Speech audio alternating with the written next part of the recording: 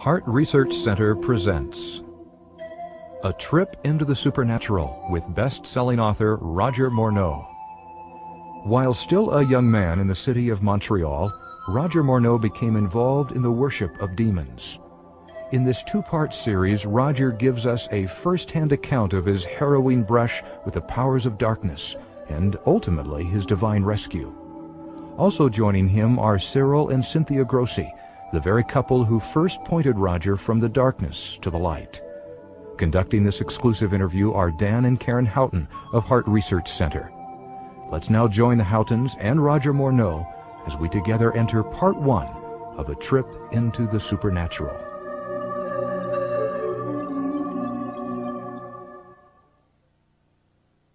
How in the world did you ever get involved in praying to demon spirits?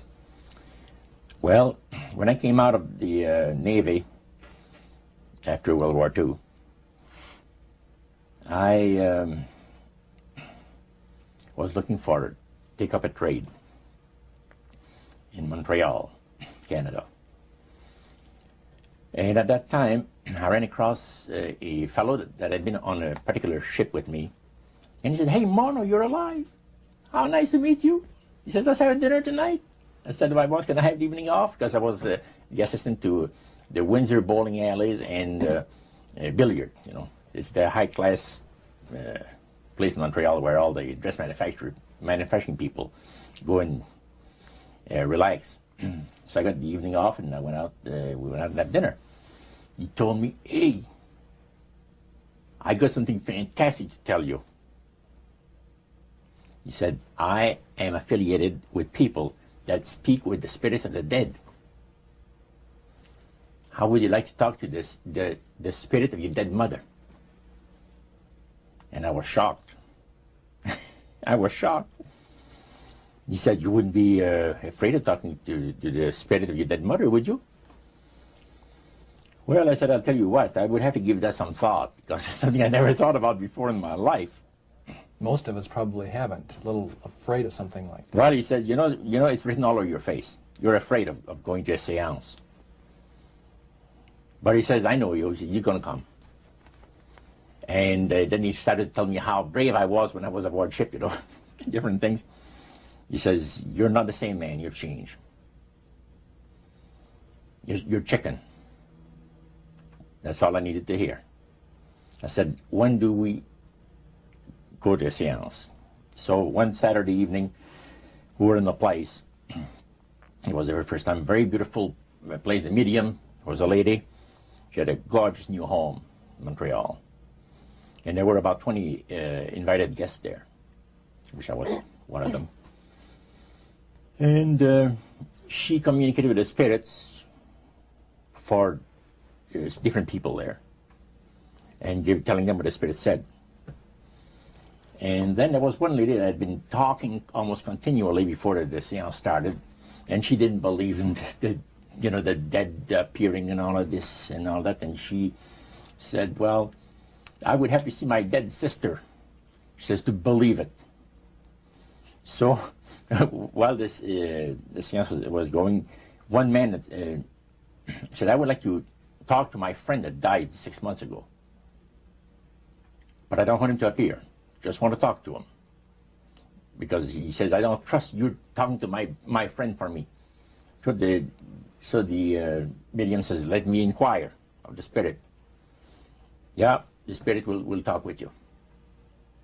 And that big masculine voice was heard in the place.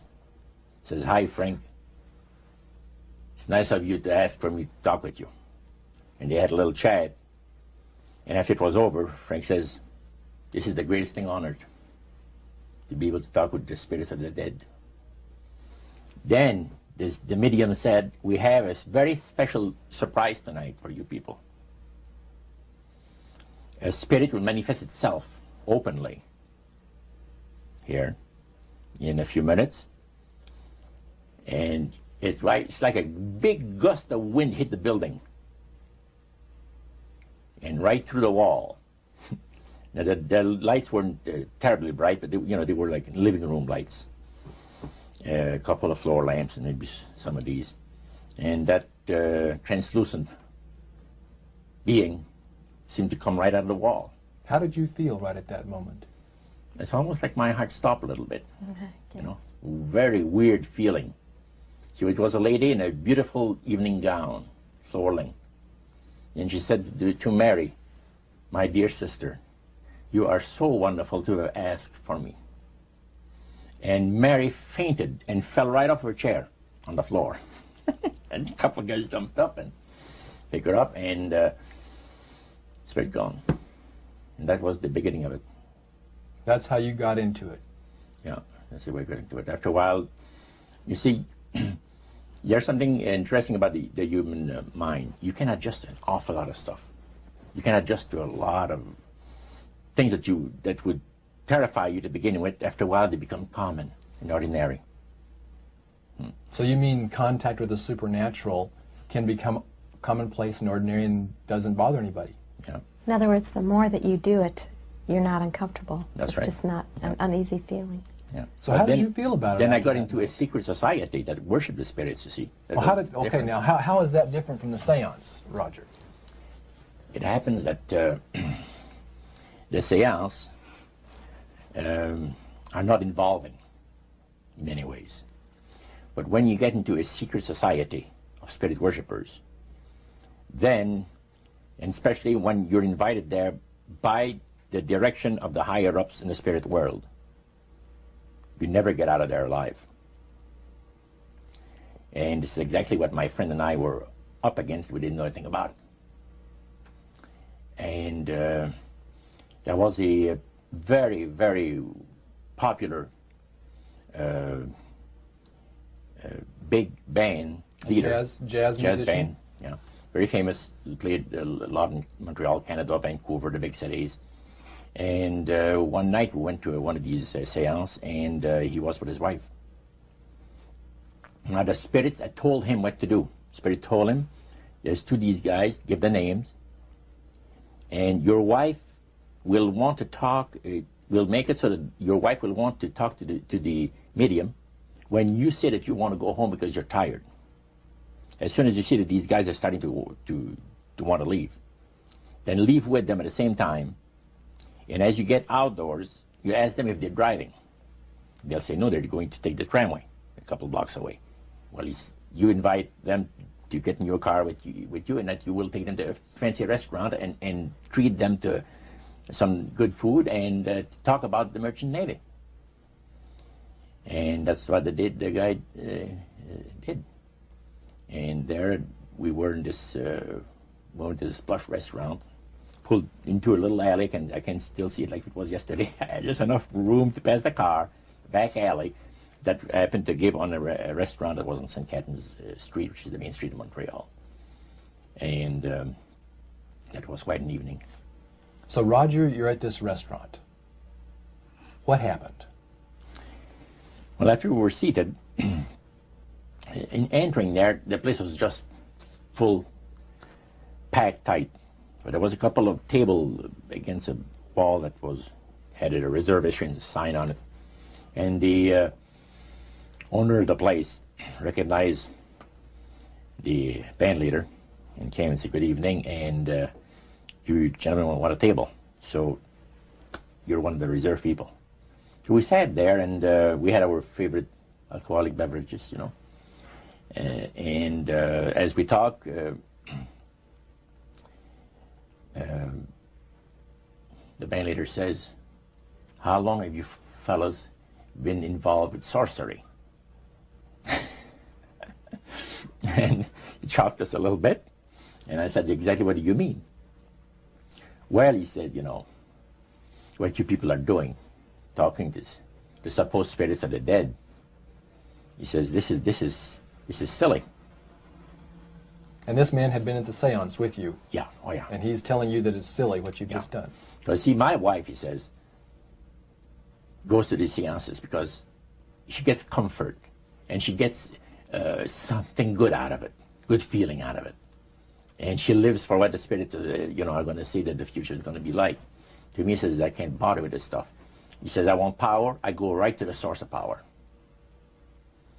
And he says, How do you think that I became famous the way that I am?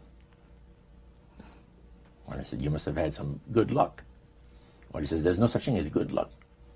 He says, There's either some power working for you somewhere, or you don't get ahead in this world. Not in my, my type of occupation. So um, it, it went from there. We went. We got talking about uh, spirit worship. Did it intrigue you? Or did it make you want to find out more about what exactly he was talking about? Yeah. So he said the, the supposed spirits of the dead that you're talking with are demon spirits. They're fallen angels. They're beautiful beings. Just set it out, just like Oh that. yeah. It didn't make you uneasy when he said they were Well, you know, it shocked you a little bit. You know, something that you first hear uh, uh, mentioned to you. He said, uh, "You guys have got a great future ahead of you." Because we've been told, the high priest of our society, secret society, has been told that the master has very special plans for you too. Now, what did he mean by the master? uh, Satan. And uh, we were interested to hear more about it. And he told us, he says, look, we worship spirits. We worship Lucifer, the, Lucifer and all his angels. They're just as beautiful as they did before they were cast out of heaven. He says there was a misunderstanding in the whole thing. He says among the inhabitants of the galaxies. And he says our master was misunderstood. And God did not bear with him like he does with, with people that make mistakes today. So we're in a warfare, good against evil. And we happen to be the evil ones, but we're not that bad. He says, I look at this business between the forces of good and evil. He says, you believe in, in uh, one person believe in God, and everyone believes in Lucifer. It's like politics. So the great controversy is real. And you've Oh, yeah. heard someone talk about it that's on the other side. And to these people, they are sold to the fact that uh, Christ will not return to this planet with power and great glory. He's going to abdicate all claims to the planet because this, the high priest once said that uh, Christ will abdicate all claim to the planet because he knows that it is lawfully and rightfully Satan's. And at, and at that time, he says, uh, Lucifer, you, you, uh, you mentioned Lucifer a lot of times, but they mentioned Satan also. He says, the master, usually they, they like to talk about the master, the master will resurrect his people from the grave. Now, George is telling you all this, or the high priest? George. George. Okay, when the evening Yeah. wound down and you're putting a cap on all that, you guys had consumed some alcohol. Yeah. And you, did you feel like that there was kind of a one-shot deal? You didn't know if it ever happened again? What happened after Well, that? he said, no, I said, listen, guys. He said, I, I like to have you, says, uh, meet some of our people. What about next week, Wednesday evening? I'll pick you up at uh, your place, and uh, you're invited to one of our uh, services. Services. Like a church service? Yeah, something similar like that. It's a testimonial to the spirits, well, how the spirits have blessed your life. See? So, uh, when we left there, I said to myself, this guy is half drunk. I'm not going to hear from him again, you know. But uh, it, it was true. That, uh, Wednesday night came, he was there with his big Lincoln, step in, and we went to one of the most beautiful area of Montreal. Um, and uh, the place was a mansion. A mansion is usually very large. We'll, we'll call this a little a small mansion. It was beautiful, most beautiful place. Yeah. Roger, your friend George took you and Roland to this mansion where people worshipped the demons. Mm-hmm. What was it like there? What kind of people were there? Well, it was a big surprise for me, as I kind of made up my mind an idea that they were going to be rough-looking characters.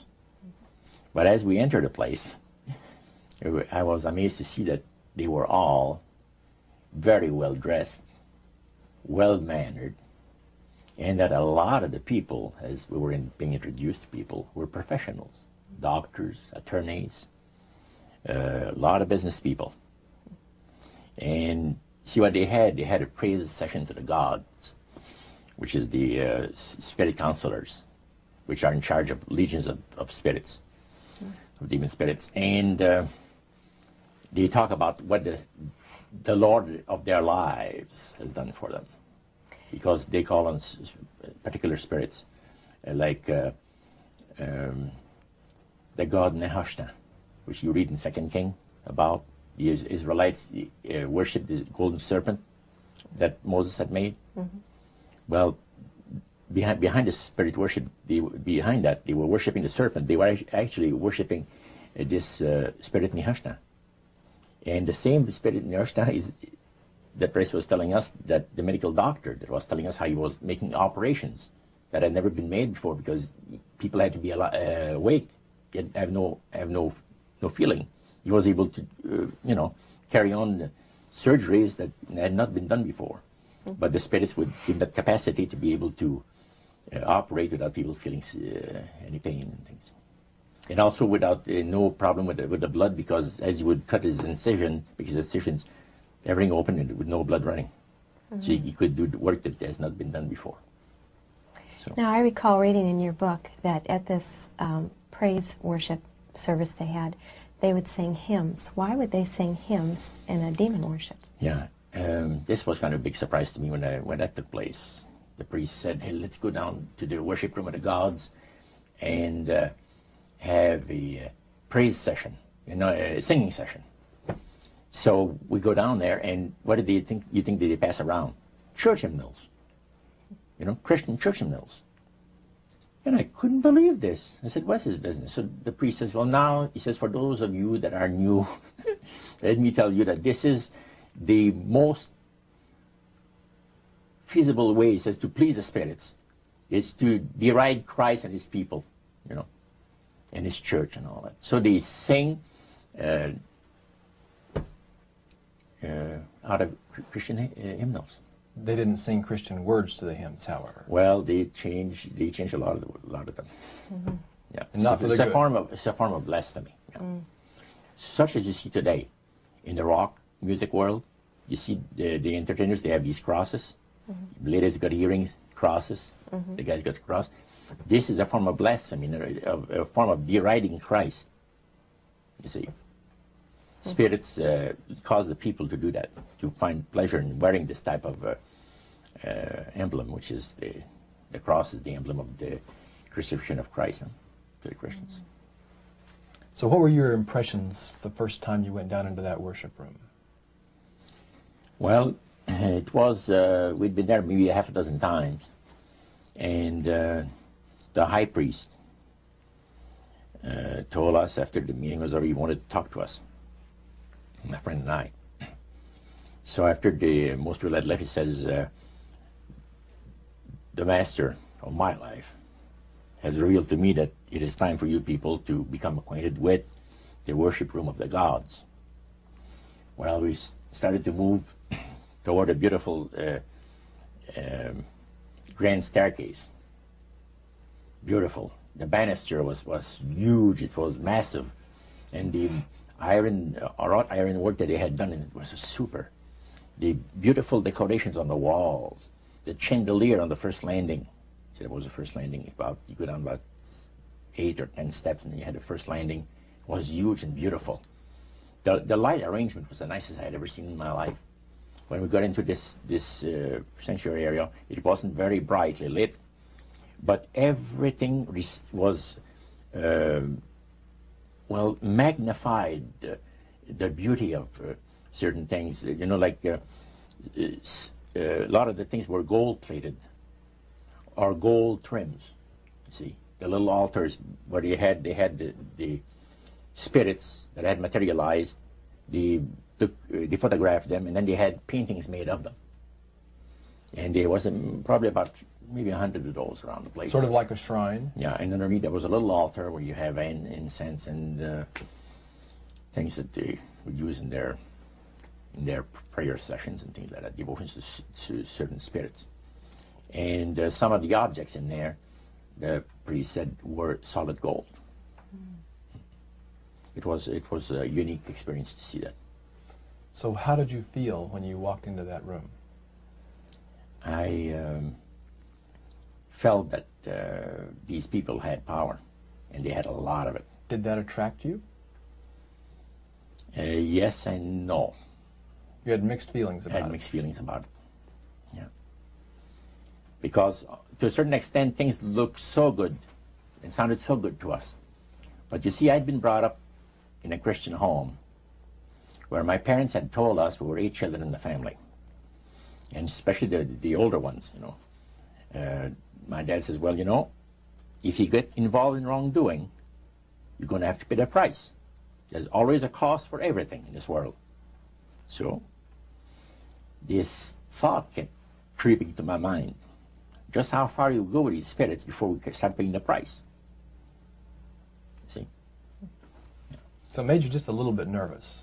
Oh, yes. But yet, you kept going back. Or there was no way out. Because that we were told. You knew at that time. Yeah. So, you were moving forward more on fear. More on fear, yes. Because the, the high priest said that uh, the master had special plans for us in our lives. And that no one ever went into this society unless they were invited by the spirits. See, so that was made very clear. And he also expressed to us the danger, explained to us the danger of uh, uh, going against the will of the spirits. And he mentioned about this one uh, man and his wife that live in a fireproof building in Montreal. The place burned right down within a minute. He was one of their members that had decided that, well, he wanted to think things over. He, he was not going to get initiated at a time that the spirit said he would like him to be initiated in the- into the society. So, in reality, Roger, you were chosen by high powered demon spirits to be a part of their human, special, privileged group. You see, these people in Montreal, the society, uh, like the priest mentioned, there's thousands of spirit worshippers in only different societies of spirit worshippers in this world. But he says we are the elite. We know the real truth about the Master and his angels. And they're not hideous looking beings. They are gorgeous creatures. And from the paintings that they had on the on that in on the wall of the walls of that worship room, they were unique be- beings. Especially the there was a painting full, uh, you know, full, Full length? size, full length uh, painting of of uh, the fallen Lucifer above his altar, and that was very fascinating because he looked like a man of great intellect, high forehead, the way that he looked with his eyes, the way he had the eyes looking. It uh, gave you a depth of perception of somebody that is very, very knowledgeable and Powerful. power and powerful. Yeah. So, Roger, this high priest that you talked about, he is the one that ushered you down into the worship room. Mm-hmm. Was he also the one that led out in the praise sessions that you talked about? Yes, and he had an assistant also, another priest. Okay. Now, when you would go to these praise sessions, mm-hmm. what kinds of things happened at those at those sessions? Well, there's a lot of um, success stories. Positive mental attitude kinds of things? Well, yes, a lot of success stories. Uh, the the masters has done this for me and that for me. I remember one uh, lumber dealer. He had like half a dozen different operations around the Quebec, and uh, everything that he touched seemed to turn to money. And he was telling about it. And then there's uh, this other person that was a clairvoyant that uh, would work only for the wealthy people, only for the super wealthy. He says, I have the know how, they have the means, let them pay. So he advised in, in business transactions. They would come to him and say, Listen, I, I look at this deal that I might get, you know, this factory or whatever it is, that because this guy was, this person was interested in industrial real estate, see. And he would talk to the spirit, and then he would, the spirit was audible to him. See, you could hear the spirit talk to him, but the, the, the man did not hear. So the spirit was telling what, was telling the, the clairvoyant what, uh, well, he called himself an astrologer, reading the moons and the stars and, you know, Now, what was So- the term you used for his title, this man? Clairvoyant. clairvoyant. Oh, clairvoyant. Clairvoyant. Yes, and uh, it was interesting. This person uh, stood up and says, uh, I had a nice little experience last week. And he says, the master, he says, they take care of you. This lady and her husband brought him, uh, to this astrologer, a bundle of money. They said, this is the deal that you, and he works at uh, only on percentages. Only on percentages. He he doesn't work for uh, set amounts of money. Only percentages of what the people are going to make. So he said, they brought me a substantial amount of money. And they were very happy with it, and I thought, thought it was very reasonable. But then my guide, Spirit, says, ask them when they're going to give you the other $1,700 that is really yours. And he says to the folks, I would like to know now, before we leave here, when will you have the $1,700 to give me? That makes up my part of, you know, rightful part of, of, of the, uh, the, the deal. The wife fainted, and uh, the husband says, we'll have the money for you in 24 hours. So that was this type of priest. So he was thanking the demons for helping him to know that. Oh yeah, mm-hmm. even spirits, yeah. At what point did this demon worship start to affect you personally, Roger? Well, it wasn't too long that the priest mentioned to us that uh, the time had arrived for us to start trusting the spirits and give the spirits a chance to work for us. And there was a number of gifts that you could choose from. You see. And um, I used to play the horses, some.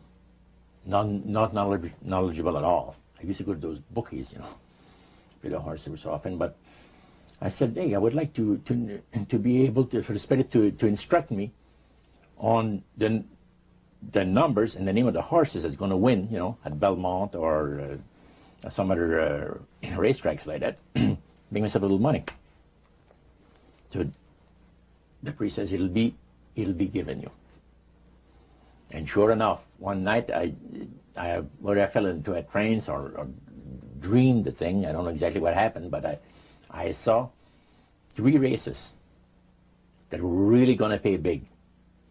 And these horses were, were dummies, so to speak. You know what I mean? They were not really good horses. They were like the one one ho- horse paid 21 to 1 because he was that poor, right? The chance of winning was so poor that he paid 21 to 1 on him. And it showed me the I saw the, the the board at the bookie and the number on it.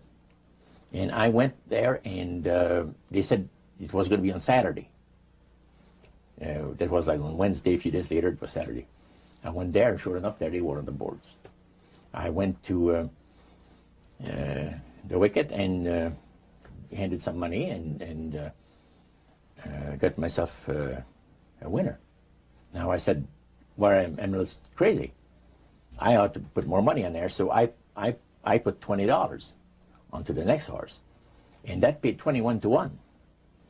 So you know, I left there with maybe four or five hundred dollars in my in my hands, and uh, I started to do that. In, in, this in this case, I went directly down to the finest men's shop on St. Catherine Street, and bought myself a two hundred dollar suit.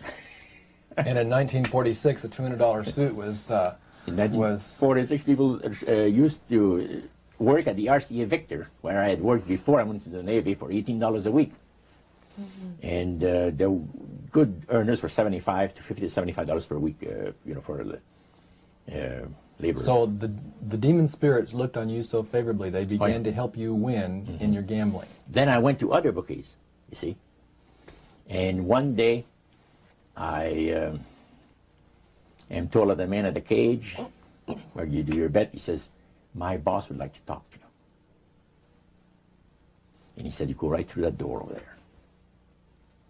Oh, sure. So I know the guy says, Come on in.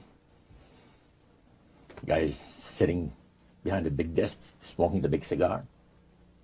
So he says, You're uh, Roger. I says, Yeah. He got up and walked around me. He said, You don't look that smart. I said, What, sir? You don't look that smart. He said that you could pick horses that are winners when they're supposed to be losers. Where do you get your help?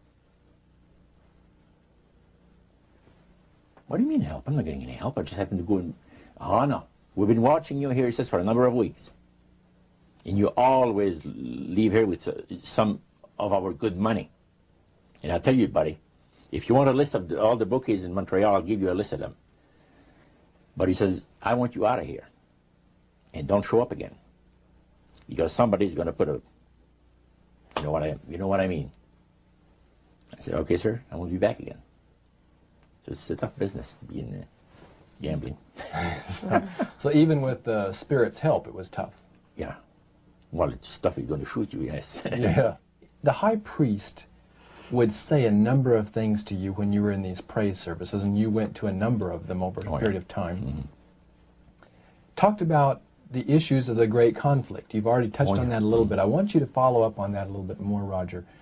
Um, some of the things that you wrote in your book, Trip into the Supernatural, sounds a whole lot like what we as Christians today know as the Great Controversy. Mm-hmm.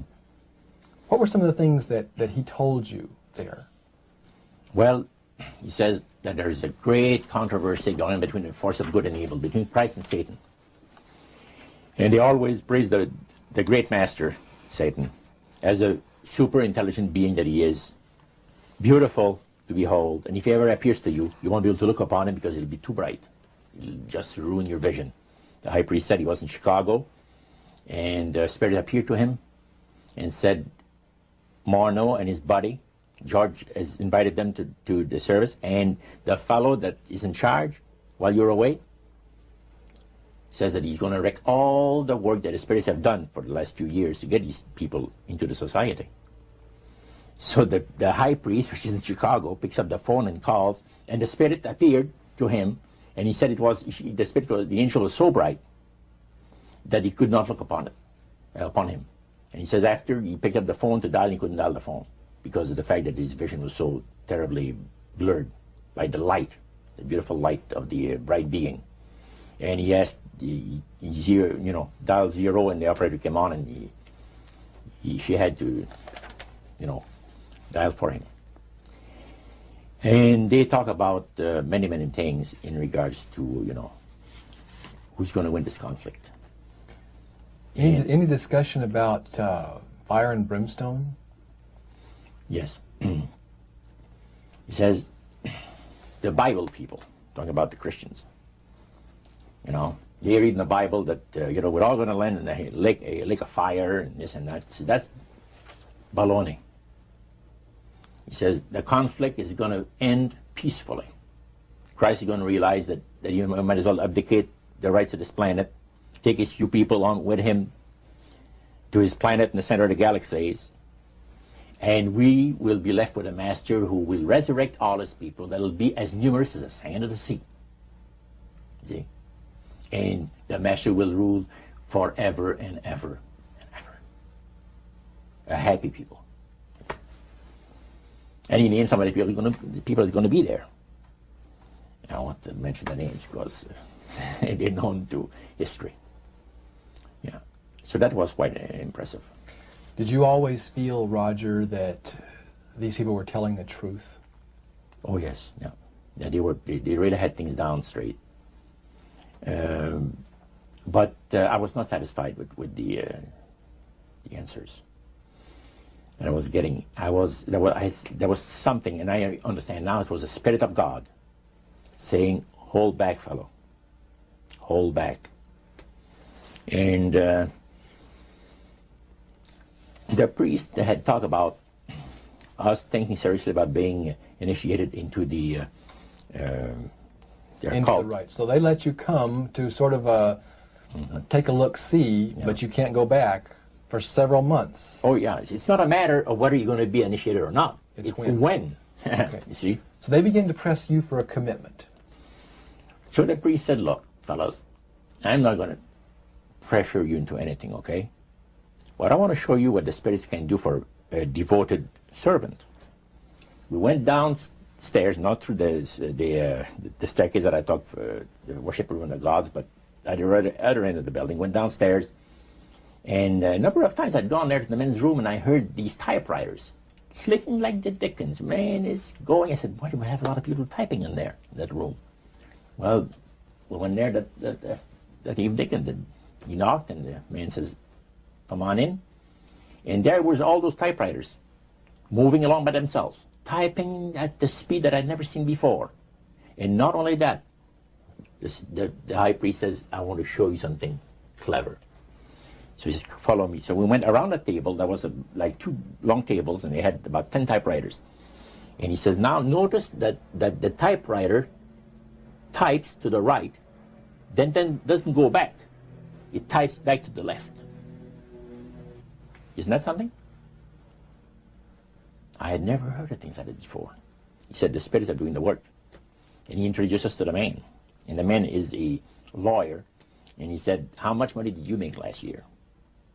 Oh, he says, Send the six figures. You see? So this lawyer had a business Yeah. in the building that housed the worship room. Oh, yeah. And he had a whole room full of typewriters. Yeah. And he put paper in there, and demons That's typed. all he did. Put typewriter uh, paper in there. I, it was And and what came out? What was it that came out? different uh, uh, briefs for Mm. court uh, cases. And so he would sell these to people. Oh yeah, Okay. he had this service to, to the uh, to the uh, legal profession, And the high priest was the United showing. States and Canada. So the high priest was showing you this Mm-hmm. to give you an idea about the kinds of blessings that you would That's right. receive. Yeah. But after you left that typewriter, the, the room where the lawyer was, Mm-hmm. they tried to draw you into a commitment by getting you to make a public Oh, yeah. profession. Tell us about that. Well, they have a, a super beautiful resort in the Laurentian Mountains, which is north of Montreal, north of Saint Agathe. Saint Agathe is a famous name there in, in Montreal. Montrealers, because they all go Saint Agathe or north there, you know, the summer home and that. So they had a, a big uh, uh, resort up there for their people, you know. So it's a closed uh, society, and they had uh, uh, on uh, October the 30th, Halloween.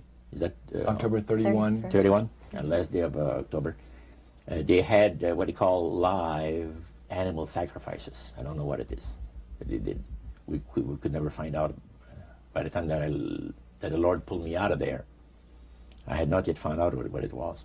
So you have this uh, intrigue involved in there. And um, you talked about um, three three very unique services that, that I attended there that sit on my mind forever. One was entitled Christian Idolatry. Another one was entitled The Super Deception of, of a Glorious New Age, which actually applies to the New Age today. And this was 1946 that we're talking.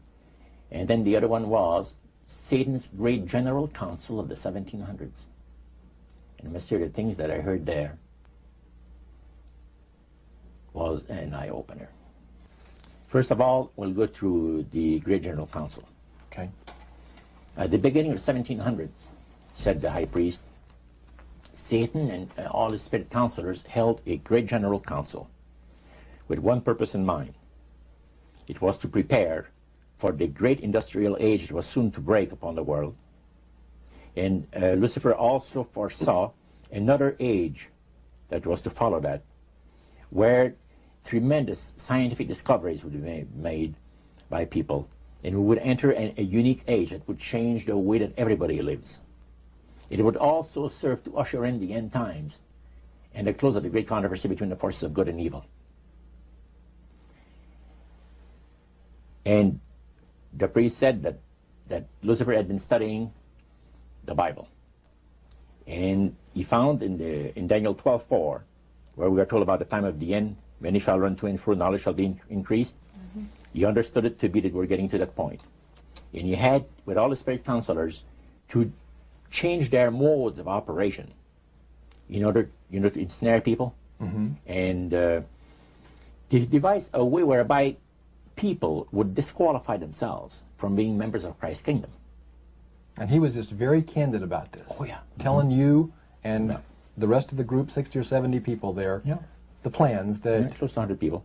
Lucifer had revealed to him. And uh, by the time the council came to a close, they had three major policies that were going to be followed. First, they were to see to it that humans would be made to believe that Satan and his angels do not really exist. Because up to that time, you could walk down a street of Paris and you would have signs that would, that would say where you have a, a soothsayer or, you know, or a, a fortune teller of some type. And, and if you want to put a, a curse on someone, you could go and see this other old lady over there, you know, the, the old witch, that's the way it goes. Uh, but now it had, it had to change. Lucifer says, we have to make sure that people, humans, get to believe that, uh, that Satan and his angels do not really exist. You know, Roger, that's interesting because a recent research study report that I read indicated that in a national survey, I believe it's over 75% of people do not really believe in a real tangible devil. But there is one. Oh, yeah. Now, the next thing, the, the, the three parts policy that they had uh, adopted there, the second one was to find a way of being able to get total control of people's minds. And that would be done by taking hypnotism out of the realm of the occult and introduce it as a new science for the benefit of mankind. So part of what the high priest told you was Satan's strategy to take total control of people's minds. They felt that uh, by taking hypnotism out of the realm of the occult and introducing it as a new science for the benefit of mankind, they could then use people of great renown, educators, people of capacity, that would uh, do great things, such as supposedly regress people in time to pre uh, to former lives that they had. And of course, after the session is over, the person would not know a thing about ancient history. And the person that she's talk, she or he has talked about uh, performing, you know, certain deeds, we'll say, uh, three, four thousand years ago. But this was their, their strategy. Now, what this would, uh, would do for the thing is this that uh, it would create in the minds of the general public, solidly set in the mind of the general public, uh, an unwavering trust in that great deception. In other words, people could, you know, it, they would believe it. This person is, is, was hypnotized, was regressing time to, you know, former lives, and uh, did this and did that, and no deception. Maybe Alexander the Great, we'll say, uh, you know, and some of his generals and people like that. And the person, after the session is over, you know, brings out, comes out of hypnotism, and he or she doesn't know what she's t- talking about. So. So now this would be a way of, of uh, dechristianizing the Western world through the avenue of mysticism. Now the time came when uh, Lucifer decided that he had to choose a person to initiate this thing. And uh, Franz Mesmer, which was an Austrian physician, was chosen because the priest told you all of this. Oh yeah. Okay. Because he was most capable. Uh, Mesmer originated a theory called animal magnetism, later on, later on named mesmerism. Mesmer was led by the spirits to believe, and this is what the priest said, was led by the spirits to believe that certain persons have a magnetic influence within themselves, so to speak, that would cause them to have great power over, over other persons, even to the point of placing them into a trance. And uh, at that time, that was readily accepted by people in general, at the, at the time that uh, Mesmer lived. So people realize, you know, some people got the capacity to put you into a trance. That's the way. Now, by the time that he died, in 1815, a lot of the physicians in Europe were using hypnotism as a means of anesthesia. Now, hypnotism is the same as mesmerism. That's right. So mesmerism has, that's been uh, uh, developed to a higher degree of uh, refinement. And uh, the priest went on saying that he, the plan of Satan, uh, to um, deceive the human family this way, he says is the most intriguing thing to his mind. And he went on saying how it was going to be brought about. Said that a fellow by the name of uh, Darwin and uh, another fellow by the name of uh, Thomas Henry Huxley would be used by the spirits because in their uh, childhood they had been hypnotized by medical doctors. And they figured that, that they would be real good subjects uh, to uh, lead the people into this belief um, that they had, uh, that Satan wanted to bring into people's lives. Now, what were those three points again, Roger? The three things Yeah. were number one, that they did not want Satan, Satan did not want the human family to think that he or his angels existed. Right. The second point that you made had to do with taking control of people's minds. That's right. The third point was what? Was to destroy the Bible without burning it. Okay. See, And what was his strategy on that? on that, um, it was very interesting because after the Great General Council, it was decided that Satan would tutor Charles Darwin personally in setting up the uh, uh, the principles of his theories of evolution. He was tutored by Lucifer himself, the fallen Lucifer. And at that time, it was understood, Satan and his uh, spirit counselors understood that if a person was led to believe in the theory of evolution, it would, in his life, destroy completely the, the, the uh, creation week of the Bible, the fall of man, and the plan of redemption. It would do away with it. In one fell swoop. Yeah. Now, he made a, a unique statement. He said that according to the spirits, anyone that teaches a theory of evolution is considered to be a minister of a great religious system. See, they call it the religious system, uh, the theory of evolution, because it is a, a system of schooling people and getting them to disqualify themselves from being members of Christ's kingdom. And he said that every teacher of that theory is recognized by the spirits as a person of great value and receives a very special unction from Satan himself, giving great power to induce spiritual blindness, to convince and convert. Three capacities are given to those teachers of the theory. Then, that's not all.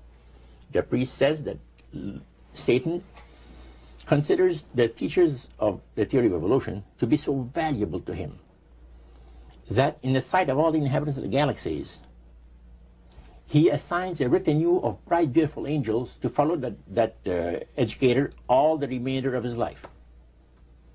And that in the sight of the inhabitants of the galaxies is the greatest honor that he can bestow upon his workers, upon mankind, and to, uh, you know, until the controversy is finished. That was quite uh, enlightening. Now, the high priest was talking just sort of like a preacher would talk up front. Was he enthusiastic? Did he have a was he did he seem like he had bought into this and was excited about it? Oh it? yeah, he believed it 100%. No question about it. So everything. Why why would he be so excited about spirits trying to deceive human beings? Because obviously out of this council of the 1700s, deception was a major part mm-hmm. of the strategy. Why? Well, he says it's deception. It's like politics. You believe in one candidate, the other person believe in the other candidate, and they're all they're, they're fighting to get to get you know the position, and just a matter who's gonna be the smartest. And with uh, Lucifer, the fallen cherubim, uh, he's very smart. He's going to win, and Christ's to abdicate the, the you know the rights of the planet. He's going to resurrect his people, have established his kingdom that lasts for uh, ever and ever. God won't be able to destroy him because it would be against against God's, uh, the Creator's nature to destroy Lucifer in the fire. Beside that, he said, uh, spirits now, even spirits, have the capacity now to outlive fire. He says, you don't believe it, go to India or, or, or some of those uh, countries where they have uh, uh, firewalkers. And it's done by the power of demon spirits. These people are energized by demon spirits so they can walk on those hot coals without burning themselves. And this is what the high priest said. And he says, if you want to use uh, fire, they can use it. It's not going to burn anybody. So that's the way. That's the way they believe. Once So this this high priest was almost talking to your group in an evangelistic fervor.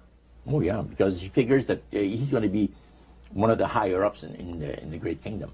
Okay. Now, of the group that was there that night, 60, 70 people, I think you've mentioned before. Yeah, it varied. How many of those were people who were hardcore members, and how many of them were new inductees? We were, only, we were the only two uh, youngsters you so and, to speak. You and your friend. And how old were you at that time, Roger? I was about uh, 20. 20 years old.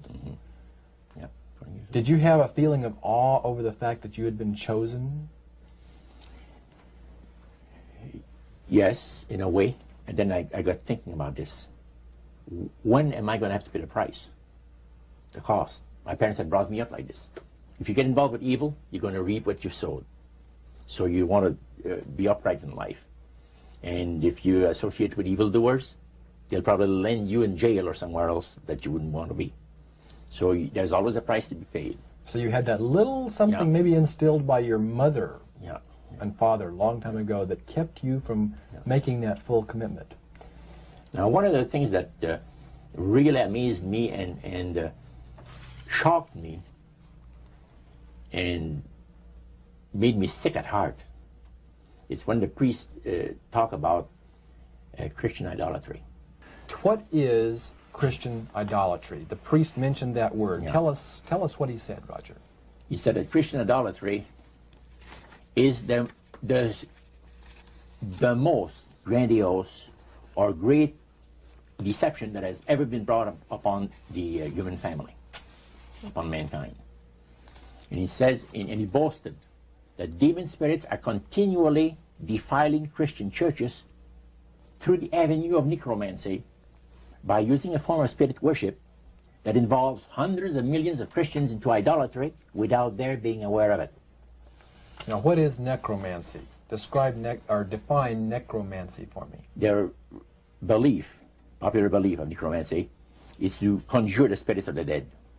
So that you can speak with someone who has died. Like the seance that you originally went to mm-hmm. was the practice of necromancy. Now, the priest says that the, su- deception is brought about in only one way through the deceptive belief that man has an immortal soul that lives on after death.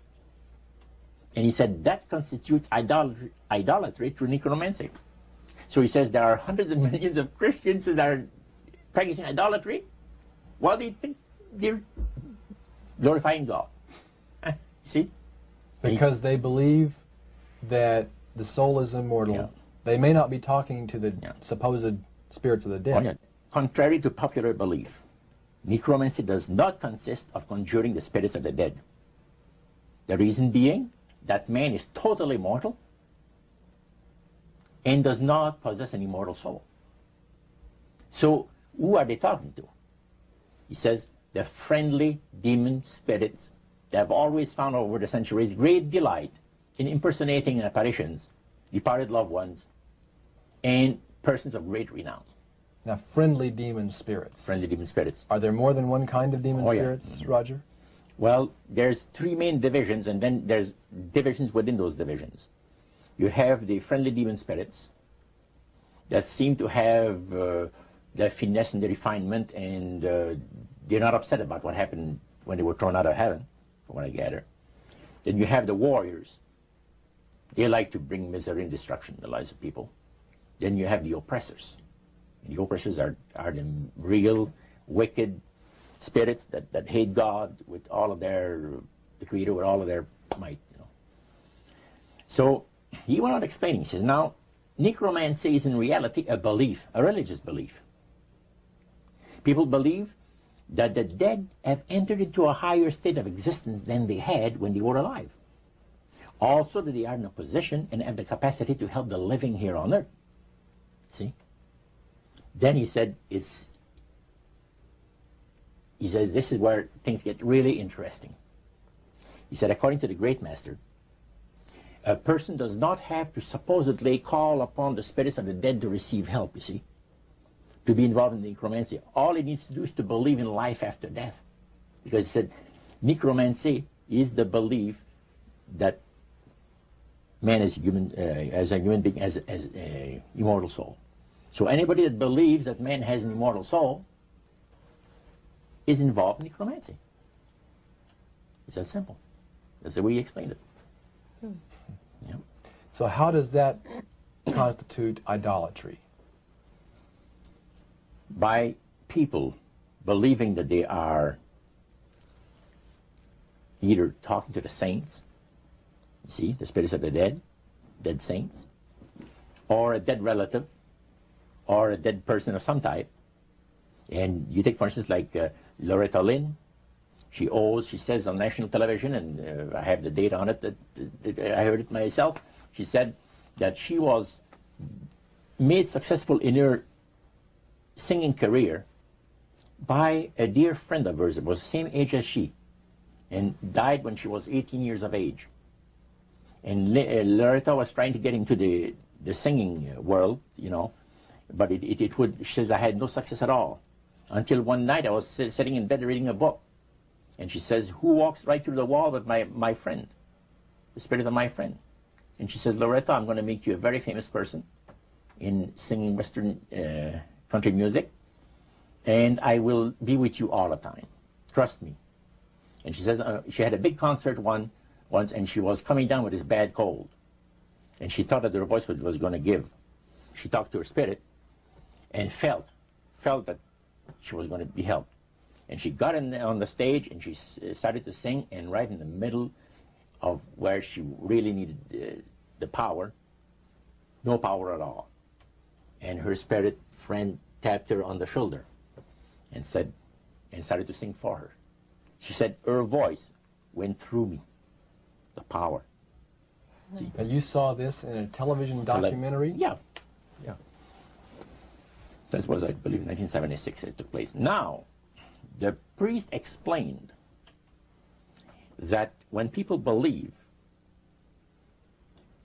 in uh, this business, they are actually opening themselves to be completely deceived by demon spirits because it gives the demon spirits an opportunity to impersonate the dead. See? And for people to believe their lies. And the priest says that thrills the. It, first of all, it says it brings the great master the respect and the reverence that is due to his great name. And it makes all the other spirits exceedingly happy because they are the ones that have worked to lead people to believe in life after death. See? And they rejoice. Also. And that's the extent of uh, what Christian idolatry is all about. Friendly spirits, just to digress for just a moment.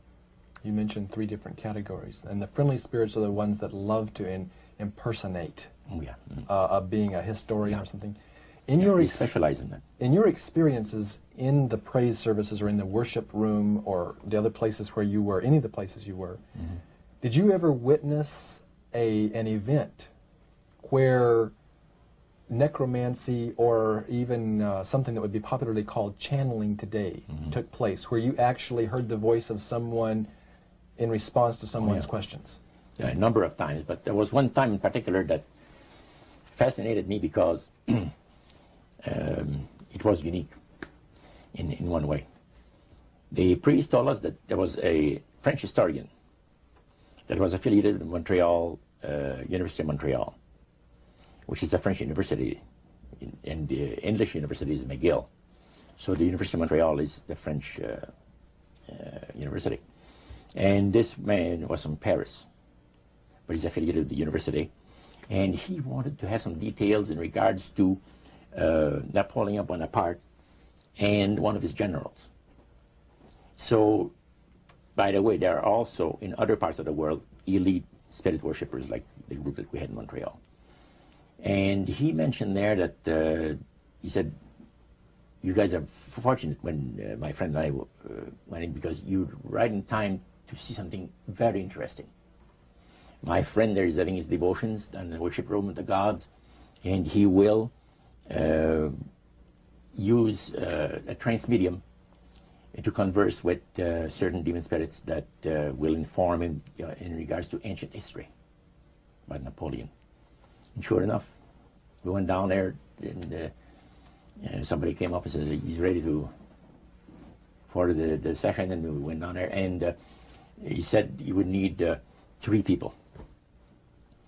Um, you would need three people, but he wanted five people that volunteer to be the channel for the spirit. Okay, so he was three was three of them were chosen there, and the others went back and sat down, and uh, the man shook his head like, a little bit like this. His eyes went glazed, and he stayed at it for a half hour. And the spirit spoke to him. He said, I'm a, I'm a spirit counselor. And what would you like to know? And uh, the, uh, he, he, had a clipboard, the historian, and asked him some questions. This historian was from Paris. Yeah.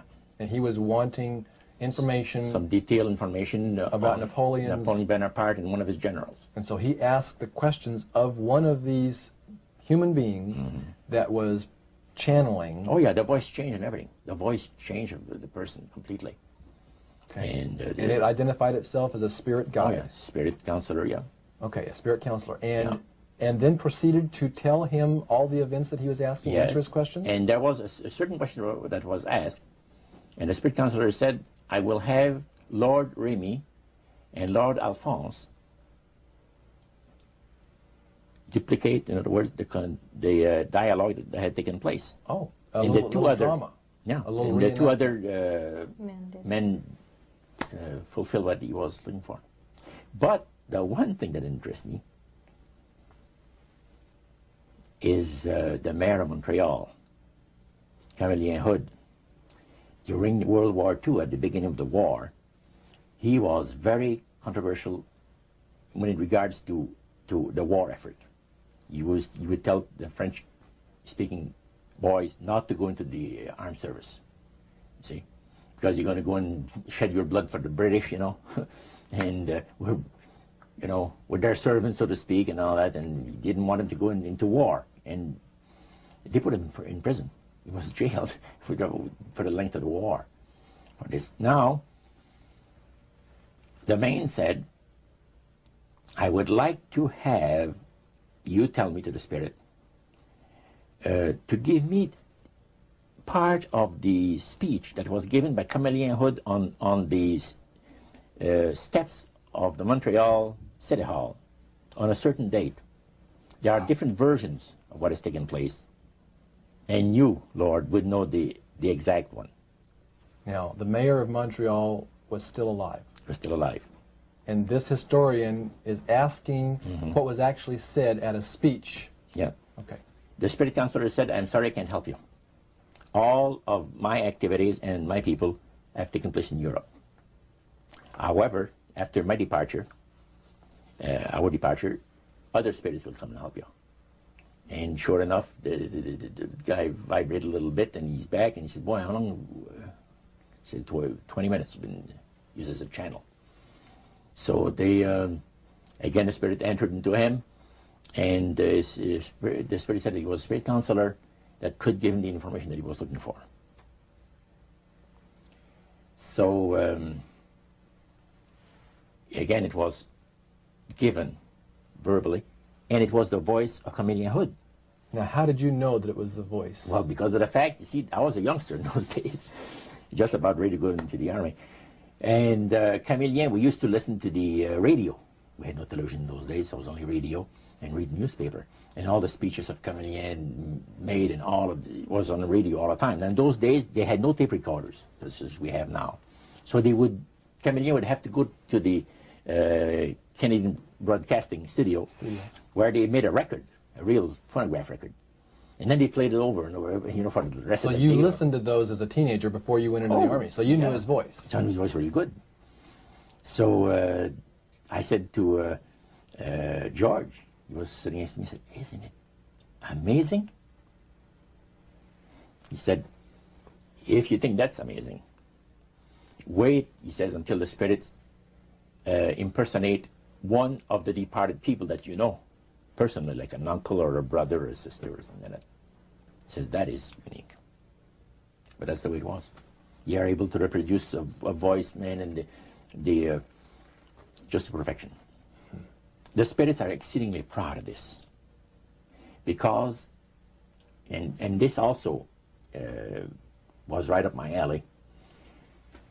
The priest said that as the times on this planet gets more and more difficult, and calamities of all kinds are striking the planet more and more frequently, demon spirits are going to impress people with, with the, the importance of Sunday sacredness.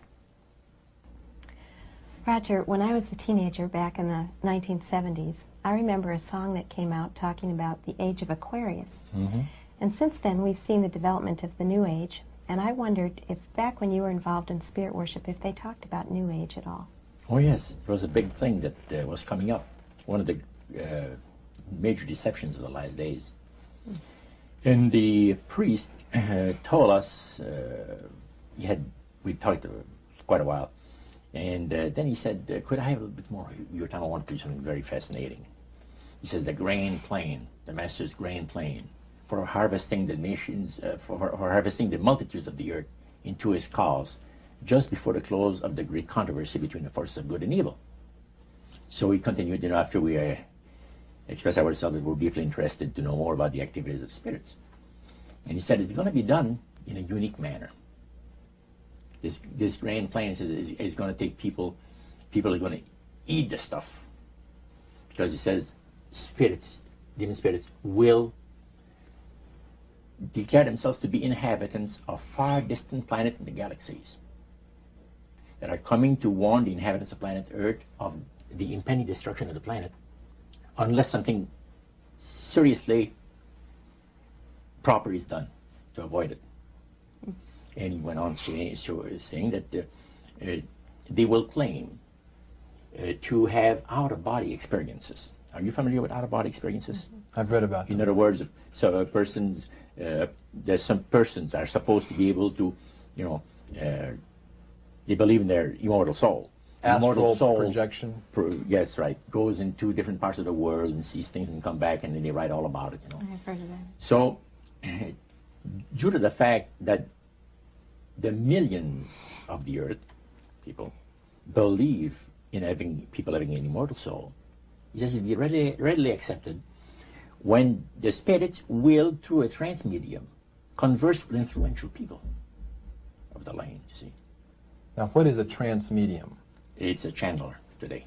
What, what is known today as a channeler? Channeler, yeah. Okay. uh, Shirley MacLaine's experience of getting involved with Spiritism and with the uh, inhabitants, supposed inhabitants of far distant planets in the galaxies.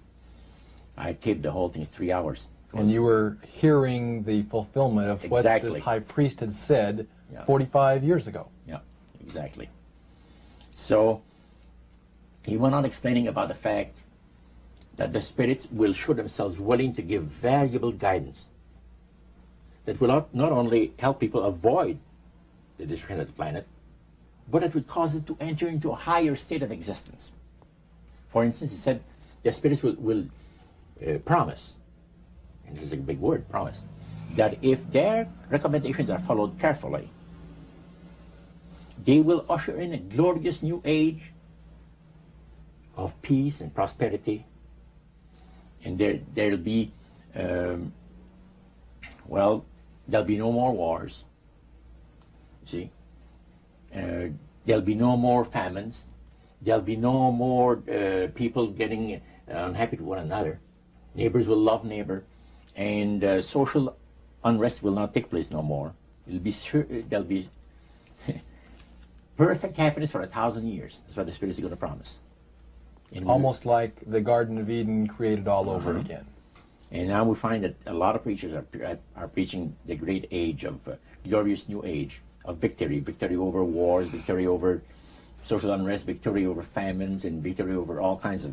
Uh, And horrible- he used the words New Age to describe what was coming. It would be a glorious new age, yeah.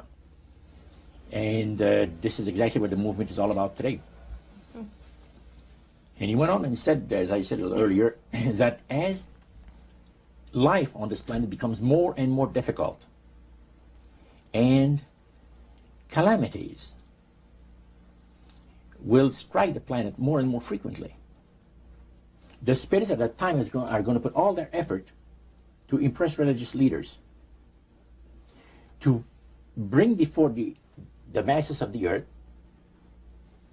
the, the sacredness of Sunday. See? They will teach Sunday sacredness. And with the religious leaders, looking forward to a thousand years of perfect peace on earth, they will put all their effort into it. Then laws will be passed by governments. Uh, yeah, one, one person asked, what's going to happen about people that don't believe in the Spirit's uh, recommendation? the priest says, that's no problem at all. Laws will be passed by governments that will force people to go along with it, regardless of whether they believe in it or not. And he says the law enforcement officers will explain to people, make it clear that such a law is necessary to assure the well-being of all people. Says the laws will be passed no effort at all. And then he, he went on and he, and, and he said about the fact that um, uh, the venerability of the sun, which in ages past was such an irritant to the Creator. All the, these great nations and other nations, the smaller ones, were all involved in sun worship. And in those centuries, the Creator found that teaching of worship of the sun to be a terrible irritant. And he said, it is going again to take place. But not in worshiping the sun, in remembering Sunday to keep it holy. He made a statement I would never forget. He says, by the observance of the day upon which the master, Satan, has placed the unction of his authority and power, he receives homage, regardless of whom people claim to worship. Isn't that something? Hmm. So, can you understand now why I had 28 Bible studies in one week and started to, to go to church on Sabbath? And I never missed since uh, until I became sick. So,